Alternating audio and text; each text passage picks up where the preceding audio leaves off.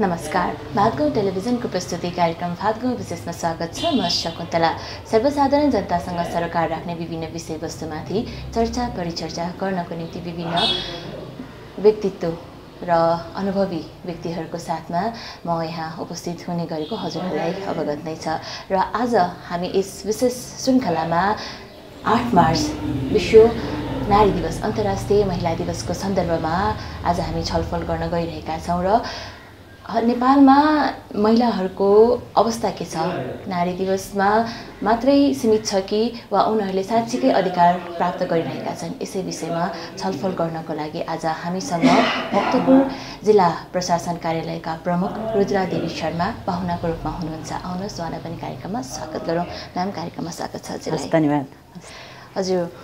अहिले विभिन्न दिन दैनिक कार्यहरू गरिरहनु भएकै छ। यो अलावा चाहिँ केमा चाहिँ व्यस्त हुनुहुन्छ? होइन अहिले चाहिँ हाम्रो अब नियमित काम नै छ। त्यस्तो ठुलो विशेष कार्यहरू त होइन। नियमित काम नै जिल्लामा नियमित रूपमा शान्ति सुरक्षा प्रवाह गर्ने सेवा सुविधा प्रवाह गर्ने लगायतका अनुगमनका कामहरू हामी गरिरहेका छौँ। हजुर।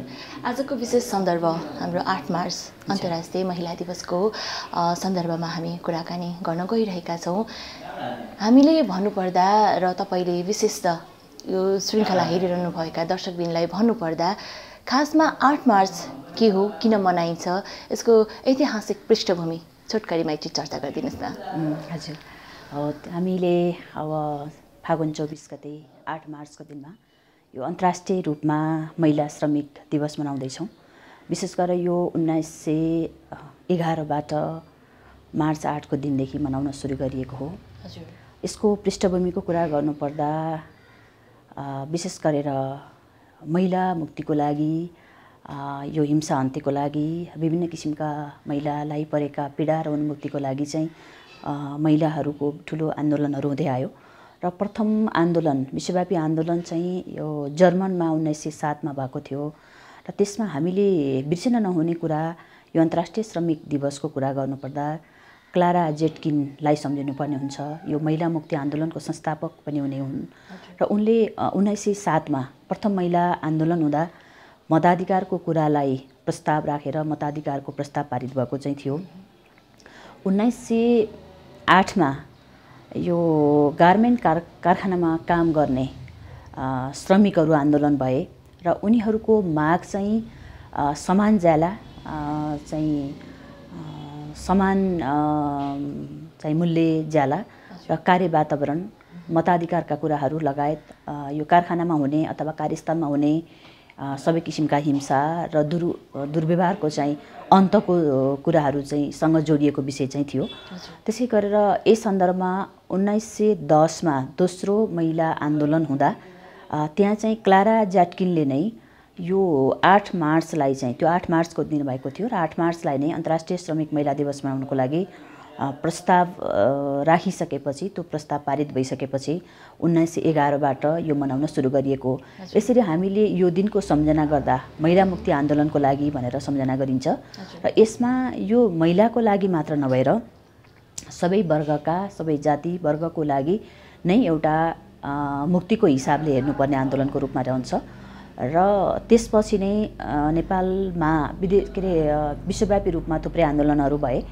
र त्यो आन्दोलनको उपलब्धि स्वरूप अहिले विभिन्न महिला मुक्तिको लागि हिंसा अन्त्यको लागि विभिन्न कानुनी व्यवस्थाहरू पनि गरिएको चाहिँ छ।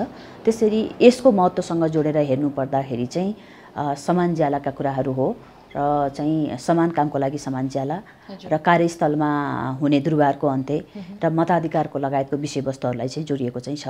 यसरी चाहिँ हामीले विगतदेखि अब आजको कुरा गर्नुपर्दा हामी उन्नाइस सय एघारदेखि आज हामी दुई हजार बाइसमा चाहिँ छौँ भनेपछि सय वर्ष एक सय चौध वर्षको अन्तरालमा पनि सय वर्ष नागिसकेको चाहिँ छ। र अहिले पनि यी कुराहरू चाहिँ प्रत्येक वर्ष चाहिँ यो अन्तर्राष्ट्रिय श्रमिक दिवसको रूपमा मानिँदै आएको छ। हजुर।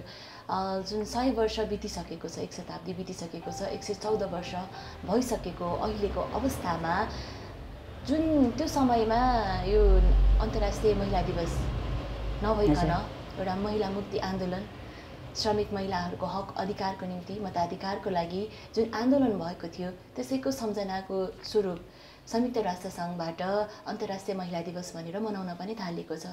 र अहिलेको दिनमा आउँदाखेरि वर्तमान परिप्रेक्ष्यमा हेर्नु पर्दाखेरि त्यो दिवस मनाउनुको औचित्यलाई चाहिँ कसरी लिनुहुन्छ? यस्तो छ अब हामीले अब यो अहिले हामी अन्तर्राष्ट्रिय श्रमिक दिवसको कुरा गरिरहेछौँ। र अन्य दिवसको पनि हामी कुरा हेरौँ। र किनभने हाम्रो यो भनेको एउटा हाम्रो इतिहास पनि हो। यो हाम्रो उपलब्धि पनि हो। र हामीले भएका उपलब्धिहरूलाई बिर्सिँदै जान पनि सकिँदैन। र हरेक वर्ष मनाउने यस्ता दिवसहरूले गर्दा चाहिँ के हुन्छ भने यो क्षेत्रमा काम गर्ने व्यक्तिहरूबिच एउटा ऐक्यबद्धता जाहेर गर्ने र यो समग्र महिला पुरुष र सबै जाति वर्ग लिङ्ग भएर यसको जुन उद्देश्यको लागि आन्दोलन भएको चाहिँ थिए त्यसमा ऐक्यबद्धता जनाउने र भएका कामको समीक्षा गर्दै र उपलब्धि हासिल गर्न नसकेका कुराहरूको समीक्षा गर्दै थप कार्य रणनीतिहरू चाहिँ अवलम्बन गर्ने अवसरको रूपमा पनि हामीले लिन्छ। र यसमा काम गर्ने योगदान गर्ने व्यक्तिहरूको पनि सम्झना गर्ने र कम्तीमा हामीले वर्षमा भए तापनि यसको समीक्षा गर्दै यसको सम्झना गर्दै राम्रा कामहरूको चाहिँ सुरुवात गर्ने अवसर पनि यसले दिन्छ। त्यसले गर्दा यस्ता दिवसहरूको विशेष महत्त्व राख्छ र हामीले यसलाई बिर्सनु पनि हुँदैन। र आज हामी यो दिवस नभइदिएको बेला यसै बिर्सिन्थ्यौँ र कम्तीमा दिवसको यसका योगदानकर्ताहरूको हामी सम्झना गर्छौँ र हाम्रा नीति कानुन पद्धतिहरू व्यवहारका कुराहरू समीक्षा गर्छौँ र राम्रो कामको सुरुवात गर्ने एउटा अवसरको रूपमा पनि यसलाई हामीले लिनुपर्ने हुन्छ। त्यसैले यसको विशेष महत्त्व छ। हजुर पक्कै पनि। जसले चाहिँ यो थालनी गर्नुभयो यो काम गर्नुपर्छ भनेर आवाज उठाउनु भयो र सङ्घर्ष गरिरहनु भएको छ उहाँहरूलाई सम्मान दिनको निम्ति उहाँहरूको सम् सम्झनाको निम्ति हामीले दिवस मनाइरहेका छौँ। र दिवस मनाउने क्रममा विभिन्न कार्यक्रमहरू भइरहेका छन्। सरकारी निकायबाट स्थानीय तहबाट लगायत एनजिओ आइएनजिओहरूले पनि गरिरहेका छन्। के साँच्चीकै ती कार्यक्रमहरू सम्बन्धित पक्ष पीडित पक्ष र जस जो चाहिँ साँच्चीकै भिक्टिमहरू हुनुहुन्छ उहाँहरू समक्ष पुग्न सकेको छ कि छैन त के पाउनु भएको छ यसमा अब यो एकदमै राम्रो कुरा गर्नुभयो। अब कस्तो हुन्छ भने यो अहिले जस्तो अहिले पनि महिला मन्त्रालयले एउटा सङ्घीय सरकार सबै सङ्घीय सरकारका निकायहरू सबै प्रदेश सरकार सबै स्थानीय तह सङ्घ संस्था निजी क्षेत्र सबैलाई यो दिवस मनाउनको लागि आह्वान गरिएको चाहिँ छ। र सबै निकायले प्रतिनिधिमूलक रूपमा यी कार्यक्रमहरू मान मानिन्छ। र अहिले हामीले व्यवस्था हेर्ने हो भने पनि स्थानीय तहसम्म ओडासम्म हाम्रा जनप्रतिनिधिहरू हुनुहुन्छ संरचनाहरू पुगेका चाहिँ छन् राज्यका संरचनाहरू पुगेका चाहिँ छन्। र अहिले महिला अधिकारको विषयवस्तुमा कुरा गर्नुपर्दा स्थानीय तहको अधिकार क्षेत्रभित्र पनि यी कार्यक्रमहरू सबै कुराहरू पर्ने हुनाले चाहिँ यसको उद्देश्य पनि तल ग्रासरुट लेभलमा भएको महिला सबै जाति वर्गलाई समेटेरै त्यो क्षेत्रबाट नै समेटिनुपर्छ भन्ने कुराहरू हो र तत्त निकायहरूबाट नै स्थानीय तहहरूबाट वडा लेभलबाट गाउँपालिका नगरपालिका र प्रदेश सरकार र सङ्घीय सरकार यो तलै स्तरबाट चाहिँ यी कार्यक्रमहरू आयोजना गर्नुपर्छ। त्यसको नेतृत्व तलबाटै आउनुपर्ने हुन्छ। भने अब यस्तो कार्यक्रमहरूमा चाहिँ सबैलाई एकैपटक नसमेटिए तापनि यो प्रतिनिधिमूलक रूपमा हुन्छ र यसको नेतृत्व गर्नेले यसको समीक्षा गर्ने यसका काम कारवाहीहरूलाई अगाडि बढाउनको लागि मद्दत पुग्ने र त्यो वर्गको हकितको लागि भएका कार्यक्रमहरू के छन् त्यसको समीक्षा गर्दै त्यस उनीहरूलाई पनि जनचेतना विस्तार गर्नको लागि सहयोग पुग्ने हुनाले चाहिँ अब हामी एक एक गरी सबैको घर दैलोमा पुग्न नसके तापनि यसले प्रतिनिधिमूलक रूपमा चाहिँ त्यस्ता वर्गहरूलाई चाहिँ समेटिनुपर्छ भन्ने मान्यता हो र वडा स्तरबाट गर्न सकेको खण्डमा ती कुराहरू समेटिन्छन् पनि। हजुर। ती कार्यक्रम गर्नको लागि समन्वयकारी भूमिका निर्वाह गर्नको लागि चाहिँ हजुर समक्ष कुनै निवेदनहरू आएको छ कि छैन के छ? स अहिले चाहिँ हामीले सोह्र दिने अभियानमा त थुप्रै कार्यक्रमहरू चाहिँ गऱ्यौँ र अहिलेको सन्दर्भमा अन्तर्राष्ट्रिय श्रमिक दिवसको उपलक्ष्यमा अब स्थानीय तहहरूबाट विभिन्न कार्यक्रमहरू गर्दै हुनुहुन्छ र प्रदेशबाट पनि हामीलाई केही जानकारी केही कार्यक्रम गर्न सकिन्छ कि भनेर आउनुभएको थियो। हामीले केही सुझावहरू पनि उहाँहरूलाई दिएका चाहिँ थियौँ। र त्यसमा अहिले हाम्रो चाहिँ समन्वयकारी भूमिका नै हुन्छ। विशेष गरेर अब हामीले भन्नुपर्दा मेरो आफ्नो भूमिका जिल्ला प्रशासनको भूमिका भन्नुपर्दा कस्तो हुन्छ भने यसमा हामीले महिला अधिकार महिला हिंसासँग जोडिएका विषयवस्तुहरू शान्ति सुरक्षासँग जोडिन्छन्। हामीले यसलाई कुनै दिवस कुनै चाहिँ विशेष दिन भन्दा पनि यो हाम्रो भूमिका नै जिल्लामा शान्ति सुरक्षा कायम गर्ने सेवा प्रवाह गर्ने विभिन्न किसिमका हिंसा मानबाट पीडितहरूलाई चाहिँ संरक्षण गर्ने मानवाधिकारको प्रवर्धन गर्ने सुशासन प्रवर्धन गर्ने हाम्रो रोल हुनाले हामीसँग जोडिएका विषयवस्तुहरूलाई त्यस्ता लक्षित वर्गहरूलाई हामीले नियमित नियमित रूपमा कार्यक्रमहरू गरिरहेका चाहिँ छौँ र हाम्रो महानगरीय प्रहरी परिषदबाट पनि त्यस्ता लक्षित वर्गहरू केन्द्रित गरेर अन्तर्क्रियाहरू कार्यक्रमहरू भइरहेको छ भने अब हामीले पनि आफै पनि अब विभिन्न निज क्षेत्रहरूसँग पनि सहकार्य गरेर काम गर्दैछौँ र स्थानीय तहहरूमा पनि न्यायिक क्षमता अभिवृद्धिको लागि सबै स्थानीय तहहरूसँग हामी अन्तर्क्रिया गर्न बिस्तारै जाँदै पनि छौँ। यसरी चाहिँ हामी अगाडि बढिरहेका छौँ। हजुर पक्कै पनि। यी त भए आफ्नो जिम्मेवारी निभाउने क्रममा समन्वयकारी भूमिका के कसरी चाहिँ गर्दै हुनुहुन्छ भने योजना हजुर महिला मन्त्रालय अन्तर्गत लामो समय काम गरेर अनुभव सङ्घालिसक्नु भएको छ महिलाहरूकै निमित्त निमित्त त्यस्तै गरी रामेछाप गुल्मी हुँदै हाल भक्तपुर जिल्लाको प्रमुखको रूपमा कार्य गरिरहनु भएको छ। यसरी विभिन्न निकायमा महिलाहरूको विषयमा र विभिन्न कामहरू गर्दा अनुभव सँगाल्दाखेरि नेपालको स्थिति के पाउनुहुन्छ महिला अधिकारको सन्दर्भमा भन्नुपर्दा। हजुर। अब यसमा हामीले समीक्षा गर्दाखेरि के छ भने आज हामी यही पृष्ठभूमिमा चाहिँ छौँ हाम्रो इतिहासको समीक्षा गर्दैछौँ। यसमा अब एक सय उन्नाइस सय एघारदेखि मनाउँदै आएको दिवस आज हाम्रो एक शताब्दी नागिसकेको अवस्था चाहिँ छ। त्यो बेलामा उन्नाइस सय सातमा पहिलो प्रस्ताव राख्दाखेरि मताधिकारको प्रस्ताव राखिएको थियो। महिलाले त्यो बेलामा मतदान गर्न नसक्ने अवस्था चाहिँ थियो भनेपछि एउटा मानव भएका हिसाबले महिला नै भएका हिसाबले चाहिँ महिलाहरू आफ्नो मताधिकारबाट वञ्चित भएको अवस्थामा यही आन्दोलनले चाहिँ एउटा मताधिकारको चाहिँ सुनिश्चितता गरेको चाहिँ थियो। त्यो अवस्थाबाट अहिले हामी यो अवस्थामा हेर्ने हो भने थुप्रै उपलब्धिहरू हासिल भएका चाहिँ छन्। अब अन्तर्राष्ट्रिय हिसाबले पनि थुप्रै महिला सम्मेलनहरू भए बेजिङ सम्मेलन लगायतका कुराहरू भए र नेपाल सरकारले पनि अन्तर्राष्ट्रिय रूपमा गरेका प्रतिबद्धताहरूलाई चाहिँ अनुमोदन गर्ने र त्यसलाई आफ्नो संवैधानिक नीतिगत योजनाबद्ध रूपमा त्यसलाई कार्यान्वयन गर्ने कुराहरू गरिरहेको अवस्था चाहिँ छ र अहिले हाम्रो अवस्था हेर्ने हो भने पनि हाम्रो राजनीतिक हिसाबले सामाजिक हिसाबले प्रशासनिक क्षेत्रहरूमा महिलाहरूको उपस्थिति बढेको पाउँछौँ हामी। त्यो बेलामा मताधिकारको विषयलाई उठाइएको प्रस्ताव अहिले हाम्रो हेर्ने हो भने चाहिँ राज्यका तिनवटा अङ्गमा कार्यपालिका व्यवस्थापिका र न्यायपालिका जस्तो क्षेत्रमा महिलाहरूले नेतृत्व गरेको देश पनि नेपाल नै हो। त्यसैले हामी समावेशिकाको हिसाबले अन्तर्राष्ट्रिय रूपमा नै अनुकरणीय देशको रूपमा हामी लिन्छौँ र त्यो हिसाबले थुप्रै कानुनी संवैधानिक व्यवस्थाहरू पनि गरिरहेको अवस्था हुँदाखेरि चाहिँ यो चाहिँ महिला अधिकारको कुरा गर्दा थुप्रै कानुनी व्यवस्थाको सुनिश्चितता भएको छ नेपालमा। सबै किसिमका विभेदको अन्त्य गर्ने र एउटा समावेशी राज्यको कल्पना गरिएको चाहिँ छ र महिलाहरूलाई पनि एउटा सुरक्षित मातृत्व प्रजनन स्वास्थ्य सम्बन्धी अधिकारहरू र चाहिँ समान वंशी हकका कुराहरू संविधानले सुनिश्चित गरिरहेको छ र त्यसै अनुसार कानुनहरू पनि बनेको हुनाले चाहिँ अधिकारको विषयमा चाहिँ नेपालले थुप्रै अन्तर्राष्ट्रिय हिसाबले सन्धि सम्झौतामा नि हस्ताक्षर गरेको र नेपालको संवैधानिक र कानुनी इतिहासमा पनि थुप्रै सम्बोधन भएका हुनाले नेपालमा चाहिँ मैले भन्न खोजेको चाहिँ अधिकारको हिसाबले महिलालाई चाहिँ कमी चाहिँ छैन। र व्यवहारिकतामा हेर्ने हो भने पनि अहिले राजनीतिक प्रशासनिक चाहिँ सामाजिक आर्थिक क्षेत्रमा महिलाहरूको उपस्थिति बलियो छ र सबै हरेक विधा र फाँटमा महिलाहरूले नेतृत्व गरिरहेको अवस्था चाहिँ छ।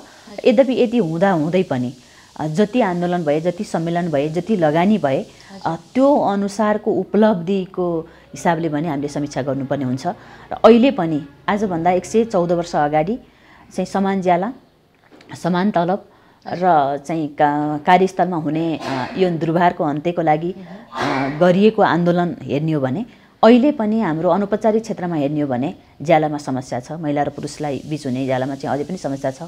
औपचारिक क्षेत्रमा भने यो कुराहरू चाहिँ छैन किनभने अहिले समान पदकोले चाहिँ समान तलब पाउँछ यसमा समस्या छैन। तर अनौपचारिक क्षेत्रमा भने अहिले पनि समस्या चाहिँ छ। अहिले पनि विभिन्न क्षेत्रहरूमा कार्यस्थलमा सार्वजनिक स्थलमा विभिन्न निकायहरूमा हिंसाका दृष्टान्तहरू हामीले देखिरहेका चाहिँ छौँ।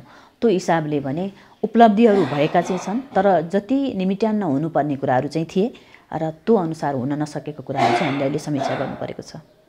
हजुर जुन यो व्यवस्था अधिकारको कुरामा नेपालको स्थिति असाध्यै राम्रो छ भनिरहँदा के साँच्चै अधिकार उपभोग गर्ने महिलाहरूको क्षमता चाहिँ अभिवृद्धि भएको पाउनु भएको छ कि छैन?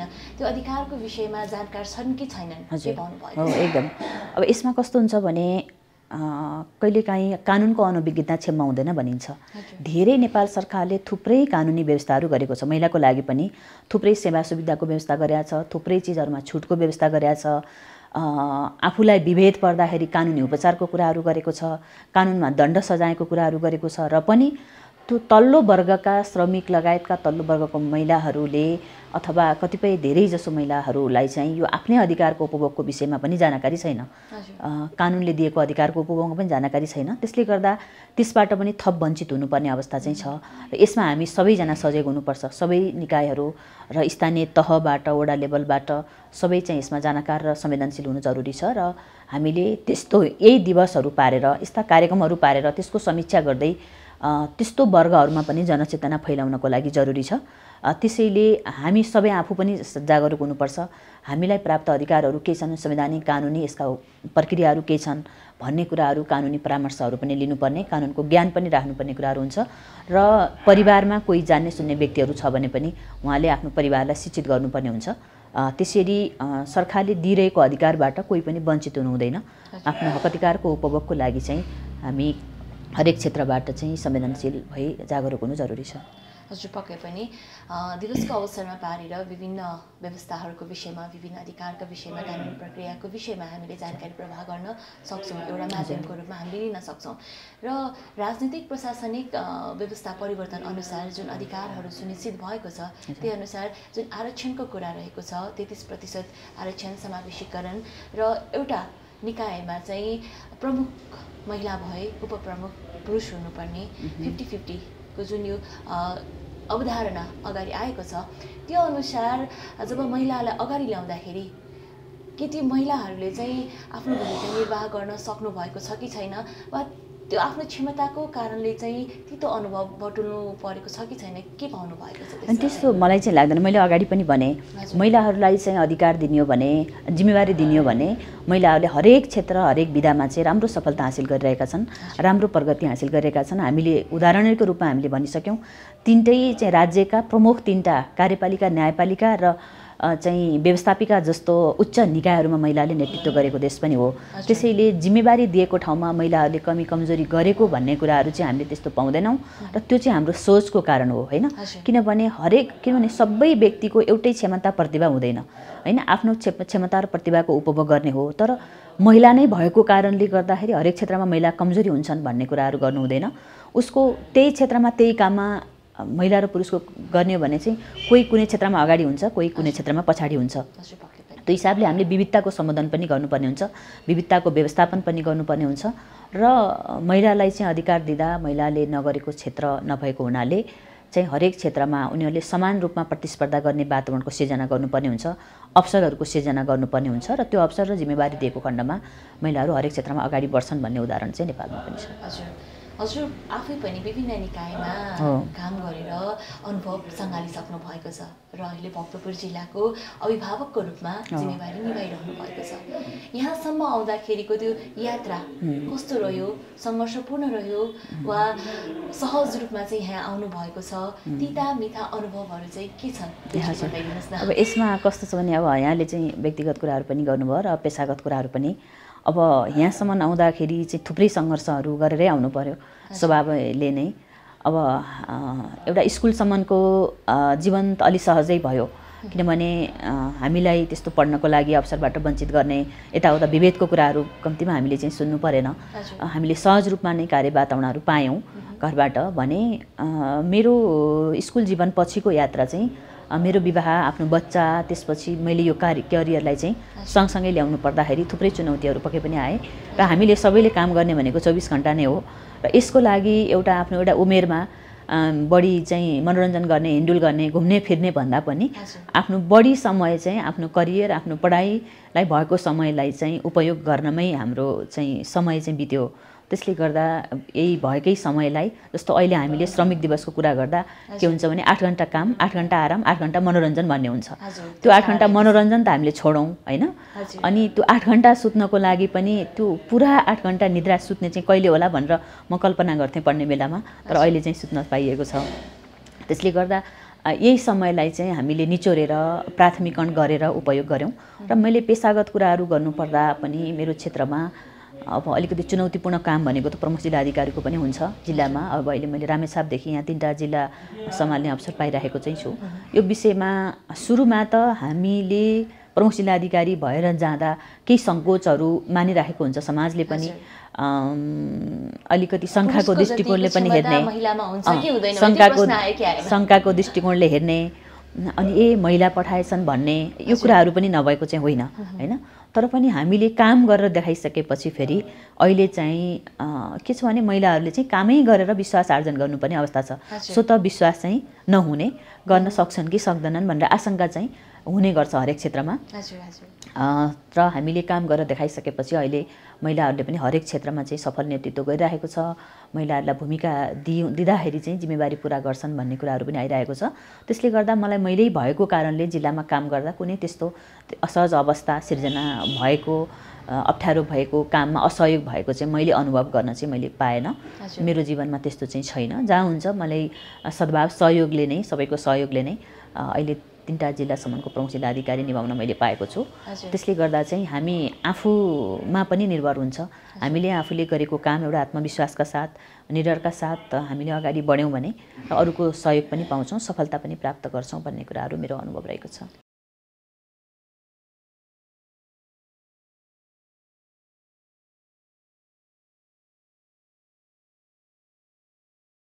दृढ विश्वास हुनु पऱ्यो आवश्यक पऱ्यो र जुन हजुरको कुरा सुनिसके पश्चात आफ्नो लक्ष्य प्राप्तिको लागि घर परिवार एउटै उमेरमा गर्नुपर्ने हुन्छ सबै कुराहरू एउटा निश्चित उमेर छ महिलाको लागि।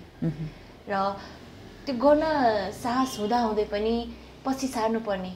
जुन बाध्यता रहेको छ महिलाहरूको लागि। ती महिलाहरूलाई चाहिँ विशेष त के भन्न चाहनुहुन्छ हो कस्तो हुन्छ भने पहिला कुरा त हामीले हाम्रो रुचिअनुसारको काम गर्नुपर्छ।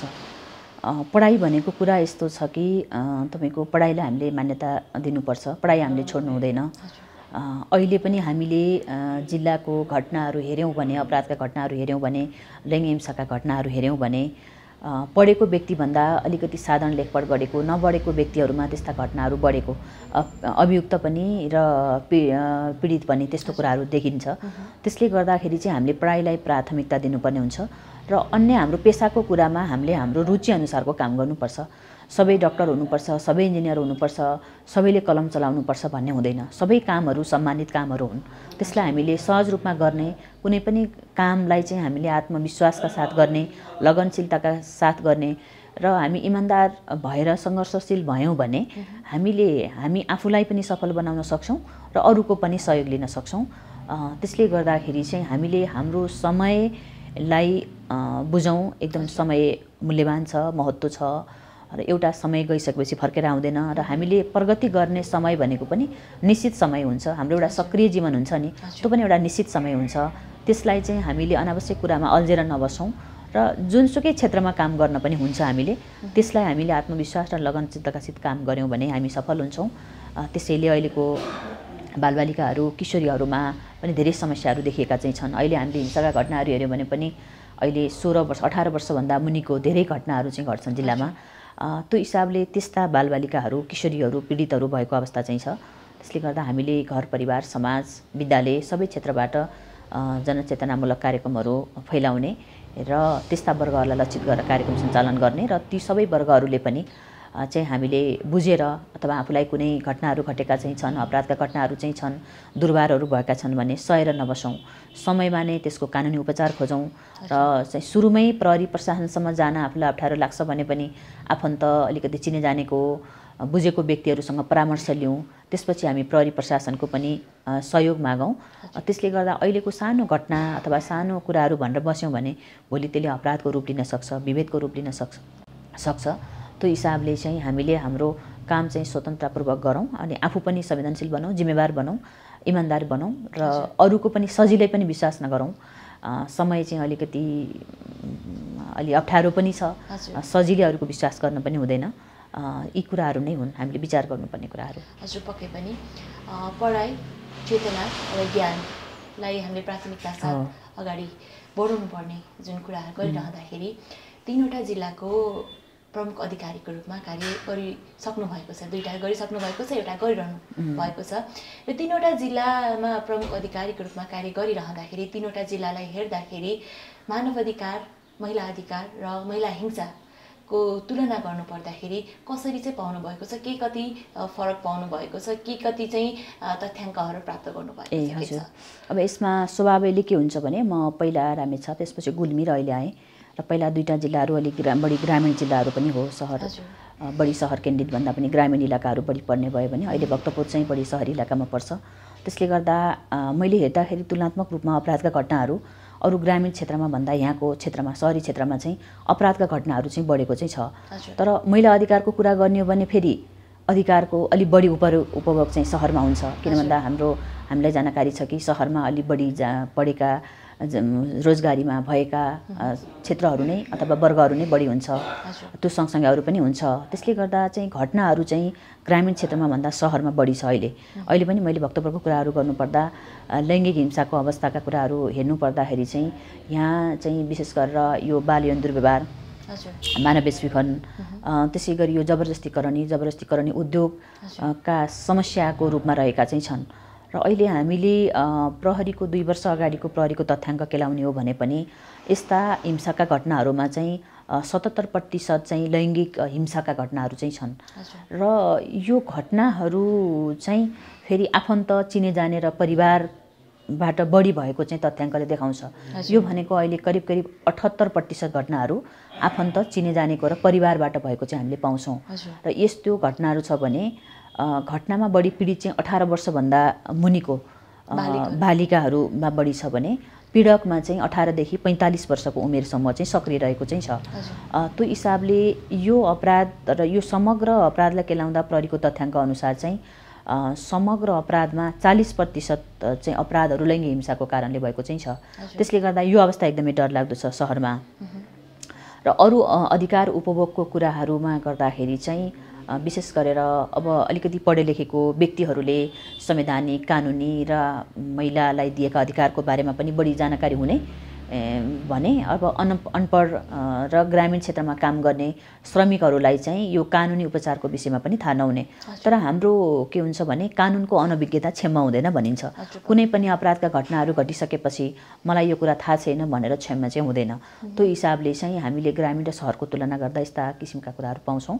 र हामीले अहिले पनि तिनै अपराधका घटनाहरूलाई विश्लेषण गरेर त्यस्ता लक्षित वर्गहरूलाई महानगरीय प्रहरी परिसर र अन्तर्गतको निकायहरूबाट व्यापक रूपमा त्यस्ता लक्षित वर्गहरू विद्यार्थीहरू कलेजका विद्यार्थीहरू समुदायहरूलाई केन्द्रित गरेर चाहिँ जनचेतनाको कार्यक्रमहरू भइरहेको चाहिँ छ भने।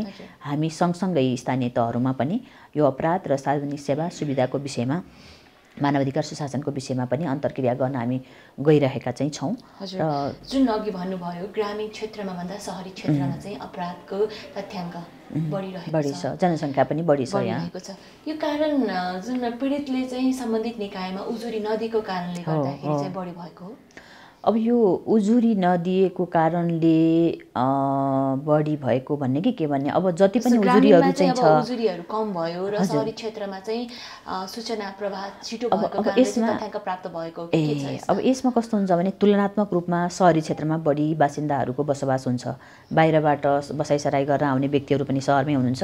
यहाँ पढे लेखेका र श्रमिक वर्गहरू उत्तिकै मात्रामा हुनुहुन्छ। त्यसले गर्दाखेरि चाहिँ यहाँ चाहिँ अलिकति उजुरी दिनको लागि र सम्बन्धित यहाँ धेरै निकायहरू चाहिँ छ। हामी कुरा गर्नुपर्दा महिला मन्त्रालय यहीँ छ। होइन? प्रहरीका युनिटहरू धेरै छ अथवा एउटा जिल्लामा घटना घटेर हामीले अर्को जिल्ला यहाँ उपत्यकाको हिसाबले तिनै जिल्लामा एक्सेस छ। महिला आयोग लगायतका थुप्रै निकायहरू चाहिँ छन् उजुरी दिनेको लागि कानुनी उपचारको लागि परामर्शको लागि अलि सहज छ भने चाहिँ ग्रामीण इलाकामा चाहिँ हाम्रा भनौँ न युनिटहरू प्रहरीका युनिट र हामी बस्ने ग्रामीण इलाकाहरू पनि टाढा टाढा हुन्छ र टेलिफोनको पहुँचहरू पनि पनि हुँदैन। कतिपय जनचेतनाको कमी पनि हुन्छ। त्यो कुराहरूले गर्दा ग्रामीण क्षेत्रमा चाहिँ अलिकति बढी बाधक पनि हो हुनलाई। तर उजुरीको कुराहरू हेर्ने हो भने जति पनि उजुरी आउँछन् त्यो चाहिँ जति आउनुपर्ने थियो त्यो सब आएको पनि छैन होइन?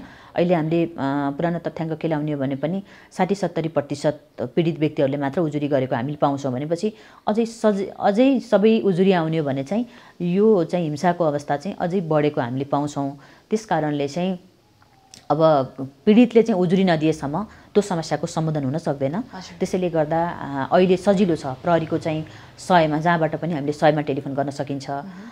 त्यसै गरी महिला आएको एघार पैँतालिसमा टेलिफोन गर्न सकिन्छ होइन? त्यसै गरी महिला मन्त्रालय पनि छ र हाम्रो चाहिँ यो महानगरीय के अरे यो मानव वैश्विकरण ब्युरो लगायतमा पनि हामीले उजुरी गर्न सकिन्छ भने स्थानीय तहहरूमा ओडा लेभलसम्म मेलमिलापको व्यवस्थाहरू चाहिँ छ। स्थानीय तहमा उपप्रमुख अथवा चाहिँ न्यायिक समितिको चाहिँ संयोजक हुने व्यवस्था हुनाले चाहिँ अहिले हामीले कानुनी उपचार खोज्ने हो भने धेरै ठाउँमा हामीले पाउँछौँ।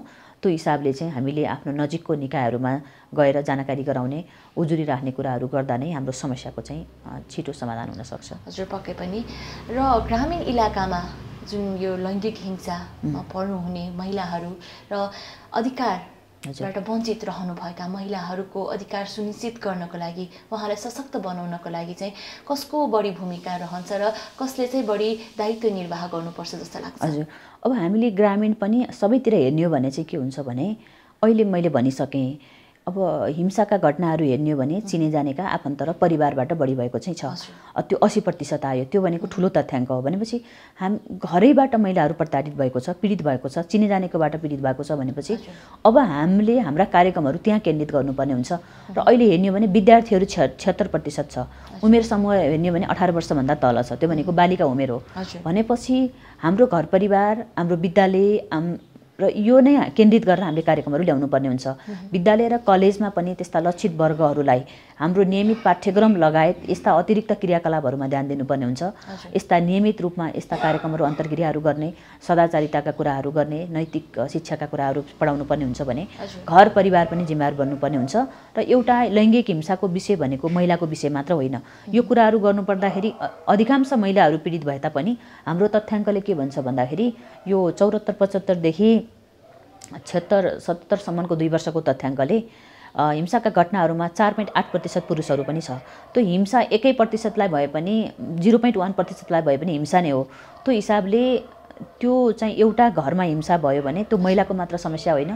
त्यो महिला पुरुष घरमा बस्ने बालबच्चा त्यो समाज र राष्ट्रकै समस्या भएको हुनाले चाहिँ हामी सबै जिम्मेवार बन्नुपर्छ समुदाय जिम्मेवार हुनुपर्छ। अहिले हाम्रा संरचनाहरू स्थानीय तहसम्म गएका चाहिँ छन् ओडा लेभलसम्म छन्।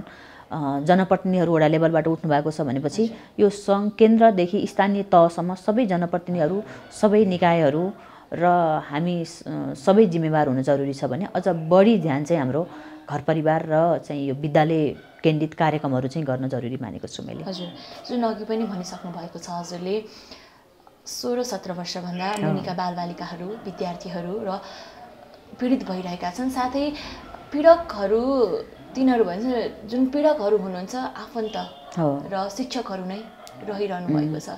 जसलाई चाहिँ हामीले विश्वास गरिरहेका छौँ। उहाँहरूबाट हामी पीडित हुनु परेको अवस्था छ। जसले चाहिँ त्यो गर्नु हुँदैन र कानुनको। नैतिक शिक्षाको नीतिगत शिक्षाको ज्ञान दिनुहुन्छ उहाँहरूबाटै त्यस्तो घटना हुँदाखेरि चाहिँ कसरी चाहिँ सुरक्षित हुन सक्छौँ कसरी चाहिँ हामीले यो घटनालाई न्यूनीकरण गर्न सक्छौँ। होला जो अनभिज्ञ छन् उनीहरूबाट हुने स्वाभाविकै। जो जानकार भइकन पनि यो घटनामा सामेल हुन्छ आपराधिक अ, क्रियाकलापमा सामेल हुनेहरूबाट चाहिँ हामी कसरी जोगिन सक्छौँ कसरी चाहिँ जोगाउन सक्छौँ होला त्यही त? एकदमै अब यो गम्भीर विषय छ क्या हजुर। यो बालबालिकाहरूमा बढी भएको हुनाले एक त बालबालिकाहरू सबै रूपमा बुझेको पनि हुँदैन सानो उमेरमा होइन? उसले आफ्नो परिवारलाई विश्वास गर्छ आफ्नो शिक्षकलाई विश्वास गर्छ विद्यालयलाई विश्वास गर्छ। त्यो अवस्थामा चाहिँ अहिले यो तथ्याङ्क चाहिँ ले हेर्दाखेरि घर परिवार समाज चिने जानेको व्यक्ति छिमेकी र चाहिँ विद्यार्थीहरू बढी प्रताडित भएको बाट उनीहरूबाट नै दुर्वार भएकोबाट चाहिँ एकदमै गम्भीर विषय छ। यसको लागि त अब हामीले त्यही भने अब यो सँगसँगै हाम्रो पाठ्यक्रम सँगसँगै।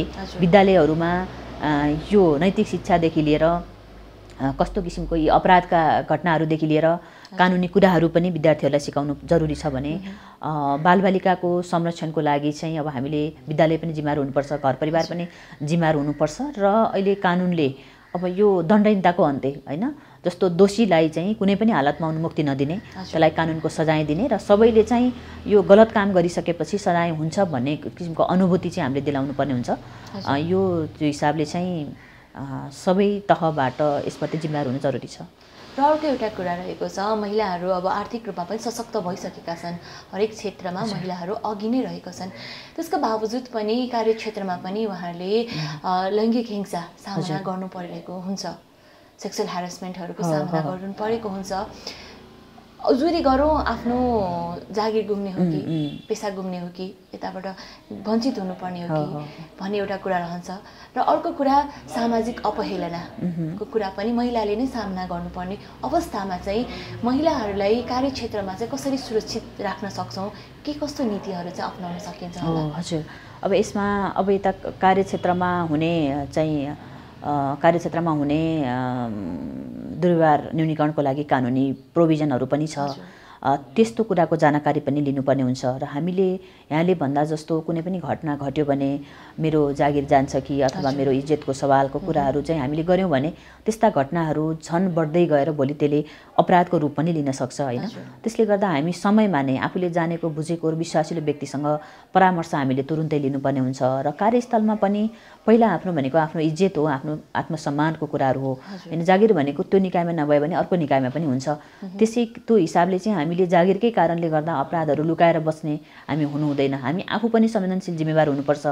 हामी सबैजना नैतिक हुन सक्नुपर्छ चाहे कार्यस्थलका सबैजना व्यक्तिहरू सबैलाई चाहिँ कानुनले चाहिँ निर्देशित गरेको अवस्था चाहिँ छ। त्यो हिसाबले हामी कानुनको विषयमा जानकार भएर उजुरी दिने कहाँ हो लिने कहाँ हो कसरी समाधान गर्ने विषयमा हामी चाहिँ संवेदनशील हुने त्यसको विषयमा जानकारी राख्ने र भएका कुराहरूको चाहिँ हामीले सेयर गर्न सक्नुपर्ने हुन्छ हिम्मत गरेर लुकाएर चाहिँ राख्नु हुँदैन। र र अर्को यो समस्या भनेको चाहिँ अलि अनौपचारिक क्षेत्रमा काम गर्ने क्षेत्रमा चाहिँ बढी चाहिँ छ अझै। होइन श्रमिकहरूमा पनि बढी छ। अहिले हाम्रो तथ्याङ्कले पनि त्यो देखाउँछ। बढी चाहिँ मजदुर श्रमिकहरूमा नै यो हिंसाका घटनाहरू बढेको छ। पीडकहरू पनि उनीहरू छन्। चालक सहचालकहरू चाहिँ छन्। त्यो हिसाबले यस्ता क्षेत्रहरूलाई लक्षित गरेर सबै एउटा जिम्मेवार निकायहरूबाट पनि कार्यक्रमहरूलाई सँगसँगै लाने जनचेतना पनि लाने र त्यसमा आबद्ध हुने त्यस्तो गलत क्रियाकलापमा आबद्ध हुने व्यक्तिलाई चाहिँ हामीले कडाभन्दा कडा सजाय दिन सक्ने हो र भने चाहिँ हामी सबैको विश्वास पनि आर्जन गर्न सकिन्छ भने यसको समाधान पनि बिस्तारै हुँदै जान्छ। कानुनी व्यवस्था र कानुनी उपचारको व्यवस्था हुँदा हुँदै पनि सामाजिक संस्कार सामाजिक बन्धन रीतिरिवाजहरूले पनि महिलालाई चाहिँ पछि पारिरहेको अवस्थामा चाहिँ कसरी चाहिँ अब भक्तपुर जिल्ला जुन सांस्कृतिक नगरको रूपमा पनि रहेको छ यहाँ बसेर काम गरिरहँदाखेरि महिला सशक्तिकरण महिला अधिकारको आवाजलाई चाहिँ कसरी बुलन्द गर्न सक्नुहुन्छ? हजुर अब यसमा एकदमै हो भक्तपुर जिल्ला आफैमा पनि एकदम सुन्दर जिल्ला र ऐतिहासिक एउटा पुरातात्विक महत्त्वले भरिएको चाहिँ जिल्ला छ। मलाई अत्यन्तै रमाइलो पनि लाग्छ यहाँ। र यहाँको संस्कृति मूल्य मान्यता जोगाउनको लागि यति धेरै प्रयास भइरहेको चाहिँ छन्। त्यसमा पनि एकदमै खुसी लाग्छ। र यसमा के हुन्छ भने सबै किसिमको समाधान संविधान र कानुनले मात्र गर्दैन। होइन हाम्रो निश्चित मूल्य मान्यता संस्कार परम्पराहरू पनि छ। त्यसलाई हामीले सम्मान गर्नुपर्छ। तर त्यसको नाममा विभेद गर्नु चाहिँ पाइँदैन।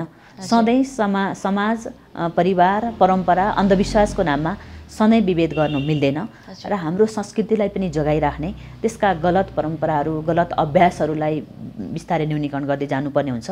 र त्यसको लागि पनि अब सबै क्षेत्रमा अहिले स्थानीय नेतृत्वहरूको जन्म भइसकेको चाहिँ छ स्थानीय नेतृत्वहरू हुनुहुन्छ विभिन्न कार्यक्रमहरू हामीले चलाउनु पर्ने हुन्छ संस्कृतिलाई जगेर्ना गर्दै र अब हामीले पनि यहाँ बस्दा चाहिँ हामीले शान्ति सुरक्षाका कुराहरू सेवा प्रवाहका कुराहरू मानवाधिकारको प्रदानका कुराहरूमा सबै स्थानीय तहहरूसँग यहाँको सम समाज संस्कृतिसँग चाहिँ सहकार्य गर्दै समन्वय गर्दै हाम्रा कार्यक्रमहरूलाई अगाडि हामी बढाउँछौँ। र त्यस्ता मैले अगाडि पनि भने किनभने भक्तपुरमा घट्ने घटनाहरूको हामीले विश्लेषण गरिसकेका चाहिँ छौँ। र त्यस्ता घटनाहरूलाई शान्ति सुरक्षाका कुरा सेवा प्रवाहका कुरा सुशासनका कुरा मानवाधिकारका कुराहरूलाई चाहिँ ती कुराहरूलाई गृह सचिव र प्रमुख जिल्ला अधिकारी बिच भएको कार्य सम्पादन सम्झौता अनुसार प्रमुख जिल्ला अधिकारी र प्रहरी प्रमुख बिच पनि हामीले कार्य सम्पादन सम्झौता गरेका छौँ। र त्यस्ता लक्षित वर्गहरू पीडित वर्गहरूलाई पहिचान गरेर त्यो क्षेत्रमा कार्यक्रम निरन्तर रूपमा चलिरहेको पनि छ। विभिन्न समुदायहरूमा शिक्ष के अरे विद्यार्थीहरूमा कलेजहरूमा भइरहेको पनि छ। त्यसलाई हामी निरन्तर अगाडि बढाउँछौँ। स्थानीय तहहरूसँग समन्वय गरेर त्यस्ता अन्तर्क्रियाका कार्यक्रमहरू पनि लान्छौँ र कुनै पनि अपराधका फौजदारी अपराधका कुराहरूमा मेलमिलाप गराउनेको कुरालाई चाहिँ हामीले निरुत्साहित गरेका छौँ। चाहिँ त्यो फौजदारी अपराधका कुराहरूमा चाहिँ मेलमिलाप गराएर थामथुम गर्न पाइँदैन। त्यसलाई कडाभन्दा कडा सजाय दिनुपर्ने हुन्छ। र महिलाका विषयवस्तुहरूलाई पनि हामीले नजिकबाट हेरेका छौँ। र महिला प्रमुख नै भएको हिसाबले तुलनात्मक रूपमा महिलाहरूले आफ्ना समस्याहरू सहज रूपमा राख्नुहुन्छ हामीसँग। र जिल्लामा थुप्रै समस्याहरू चाहिँ छन् नागरिकताका समस्याहरू चाहिँ छन्। अहिले पनि जिल्लामा बालविवाह बहुविवाह समयमा घटना दर्ता नहुने अब उमेर चाहिँ सामूहिक सुरक्षा भत्ता पाउने समय भइसक्यो नागरिकता नभन्ने कुराहरू चाहिँ छन्। अब वैदेशिक रोजगारका समस्या श्रीमान एकातिर श्रीमती एकातिर बच्चा एकातिर सम्बन्ध विच्छेदका कुराहरू त्यो बच्चाले चाहिँ समयमा जन्म दर्ता नपाएको कुराहरू बाबुआमाको पहिचान नपाएको नागरिकता नपाएका घटनाहरू चाहिँ थुप्रै छन्। त्यसलाई हामीले एउटा कानुनी परिधि परिधिभित्र राखेर एकदमै सरल सहज गर्नको लागि हाम्रो प्रयास जारी नै छ। र हामीले एकातिर कानुनको कार्यान्वयन गर्ने निकाय पनि हो हामीले भने अरू कुरामा हामीले समन्वय र सहजीकरण पनि गरिराखेका चाहिँ छौँ। भने यस्ता घटनाहरूलाई हामीले विश्लेषण गर्दै लक्षित वर्गसम्म कार्यक्रम लानको लागि हामी प्रयासरत नै छौँ। त्यो सँगसँगै जिल्ला प्रशासन कार्यालयबाट प्रभाव हुने सेवा सुविधालाई प्रभावकारी बनाउने र कार्यस्थललाई पनि लैङ्गिक मैत्री बनाउने सबै सरकारी कार्यालयहरूलाई पनि लैङ्गिक मैत्री बनाउने र कुनै पनि दुर्व्यवहार हुन नदिनको लागि हामी सजग छौँ। हामी कार्य प्रमुखहरूलाई पनि निर्देशन दिइरहेका छौँ र त्यस्ता हामीलाई जानकारी उजुरी आएको ठाउँमा पनि हामी पुगेकै छौँ। त्यो हिसाबले हामी अगाडि बढिरहेका छौँ। अन्तिममा एउटा प्रश्न। जुन अहिलेको यो आठ मार्चको नारा रहेको छ। दुई हजार बाइसको gender equality today for sustainable tomorrow यसमा चाहिँ के भन्न चाहनुहुन्छ? अब यो अन्तर्गता के हो भन्नुहुन्छ भने न्याय र समानताका कुराहरूको उपलब्धि भनेको नै हाम्रो आर्थिक समृद्धि सुशासन र दिगो विकासको कुरा नै हो। र अहिले हाम्रो दिगो विकासको लक्ष्यले पनि यो सबै कुराहरू चाहिँ समेटेको कुराहरू चाहिँ छ। र अहिले पचास प्रतिशतभन्दा बढी महिला भइरहेको अवस्थामा पचास प्रतिशतभन्दा बढी जनसङ्ख्या पीडित वञ्चित र हिंसामा परेको अवस्थामा यो देशमा न्याय समानता र समृद्धिको कुरा हामी गर्नै सक्दैनौँ।